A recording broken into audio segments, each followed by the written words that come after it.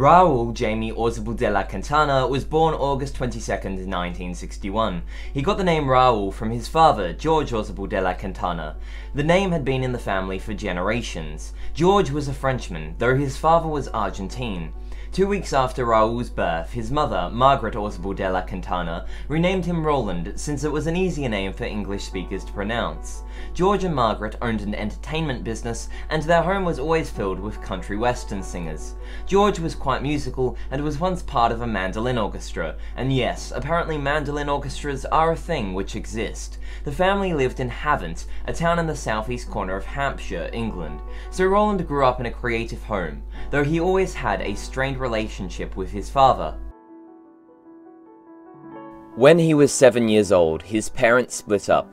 One morning, when George was asleep, Margaret left quietly, taking her children with her. Hence, Roland ended up in a much more regimented household with his cousins and aunt, where afternoon tea was strictly at four and mornings were routine. He had lost the fluidity and French culture of his old home and struggled with this change. It's really funny because it was a big shock to me because I was so used to how we did things at home, and all of a sudden there was this rigidity. And at three o'clock or four o'clock there was afternoon tea, and then in the morning you got up, you did this and did that, blah blah blah.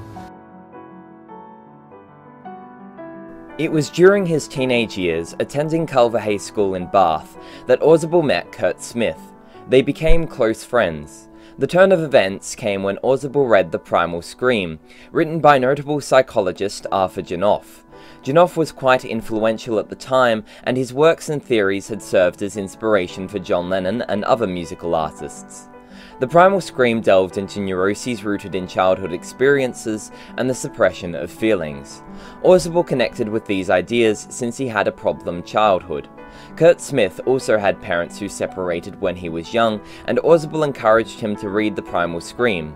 While Orzabal's family thought his obsession with the book was strange, Smith understood. During their college years, Orzabal and Smith were part of a band called Graduate, who produced an album Acting My Age in 1980.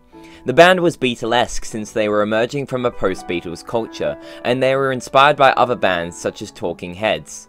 The band broke up before completing their next album, Ambitions. From there, Orzabal and Smith went on to form a band they initially dubbed History of Headaches, though they changed the name and became the influential, successful, new wave synth pop band Tears for Fears. In 1982, Orzabal married Caroline Johnston. The first success of Tears for Fears came with their third single, Mad World. It charted as number 3 in the UK. In 1983 they released their first album, The Hurting. Orzabal felt that their debut album didn't represent what he or the other band members were like as people. Their next album, Songs from the Big Chair, remained high on UK charts for a year. Was there a calculated attempt to change your albums from The Hurting to Songs from the Big Chair because some people thought that these songs on The Hurting were too serious? I don't. I think everything I said is important, and I'm meeting people around, well, around America. That The Hurting means a lot to a lot of people. I'm quite surprised. A lot of people think The Hurting's great and think the songs from the Big Chair as good. On tour, after playing for over three months, Tears for Fears were performing a gig in Kansas. With their recent album charting at number one, they were at the top of the pop world. After the gig, they went to a bar, where they had to pay $1.50 to get in, because a woman called Oleta Adams was playing. Adams's emotional, artistic singing inspired Orzabal and Smith. She was singing, she was crying when she was singing, and we were sat at the bar crying. In 1987, they invited her to be a singer and pianist on their next album, The Seeds of Love. The album took three years and over £1 million to produce, partly because Smith was going through a divorce with his first wife and Orzabal was becoming a perfectionist. Tension within the band led to Smith leaving Tears for Fears in 1991. The split was thought to be caused due to Smith wanting to slow down the pace of their work, while Orzabal had developed a particularly precise approach to production. In the 90s, Orzabal produced two albums under the name Tears for Fears without Curt Smith. Elemental achieved gold status in the US, while Raoul and the Kings of Spain was a more experimental record. Here is some footage from the music video for Low Life, a single on Orzabal's one and only solo album under his name. The album, Tomcats Screaming Outside, never made the charts, and had the unfortunate release date of September 11, 2001 in the US. By this point you're probably wondering what's going on in this music video, and I've done some research and I don't know either. We're doing this, uh, the video for the first single called Low Life, and um, the director is a guy called Joe Tanner, and he came up with this really bizarre treatment, which to this day I still, I just read the script again, and I still don't understand it, but it's the kind of, talks about the life of a pair of dog slippers. These dog slippers are on the feet of a, a, a naked man.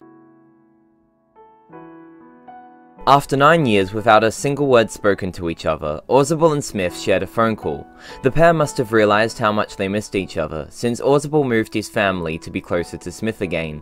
They worked on a record, Everybody Loves a Happy Ending, released in 2004. In 2014, Orzabal published a novel about a middle-aged, semi-retired pop star, and the story was derived from some of his own experience. His wife, Caroline, died of natural causes in 2017, which affected Orzabal deeply, and he withdrew from concerts scheduled in 2018 to take a year away from music. This year, he remarried writer and photographer Emily Rath. Currently scheduled for a February release in 2022, Roland Orzabal and Curt Smith have put together the seventh studio album of Tears for Fears, called The Tipping Point. Roland Orzabal was part of an era-defining movement in music, a central figure in the age of synth-pop. The first song I ever heard from Tears for Fears was Everybody Wants to Rule the World. It was unlike any style I'd heard before, and when I was younger I thought it was the best song ever written. Songs such as Head Over Heels and Shout solidified my love for the band. Through their music, Orzabal and Smith comment on human nature and society, and they capture the timeless themes of love, protest, power, and politics. They started as youths concerned with the world, and became older people still concerned about the world. This project has taken me over a month, and I'm not sure how to conclude it. Goodbye, I guess?